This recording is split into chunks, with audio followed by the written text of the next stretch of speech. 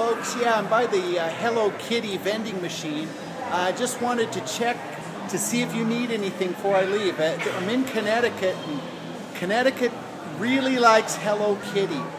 Who doesn't?